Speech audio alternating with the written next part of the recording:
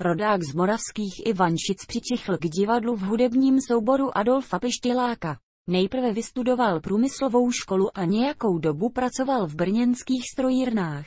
Teprve později se pokusil dostat na brněnskou jamu.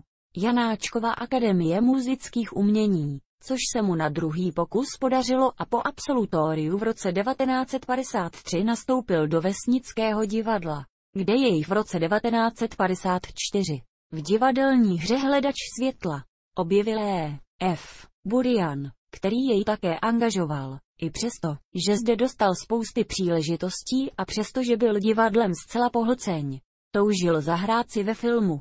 Jeho vůbec první účinkování před kamerou proběhlo ve snímku Velká příležitost a to víceméně co by. Komparzista. Teprve ve snímku Dědeček automobil režiséra Alfreda Radoka, kde si zahrál italského mechanika.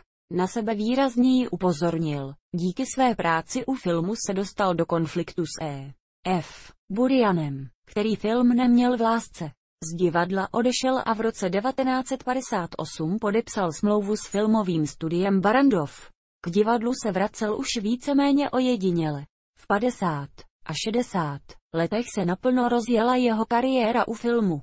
Nebyl jen komediálním hercem, dokázal bravurně stvárnit i tragikomické či dokonce dramatické role.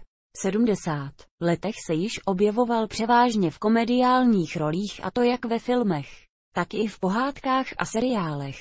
Jednalo se o velkého baviče, konferenciéra a hlavně excelentního vypravěče. Vystupoval doslova ve stovkách televizních pořadů a ve filmu a televizi vytvořil přes 150 rolí. Za zmínku stojí mezi jinými pořad bakaláři a nezapomenutelné konferování silvestrovských estrád.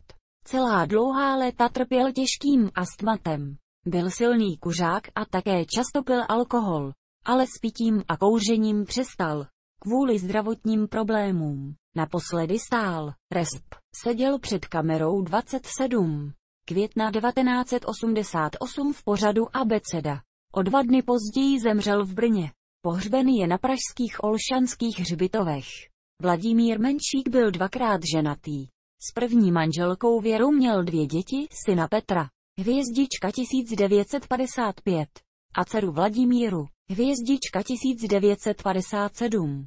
S druhou manželkou Olgou měl také dvě děti, syna Jana, hvězdička 1962, a dceru Martinu, hvězdička 1965 která se jako jediná z jeho dětí stala herečkou.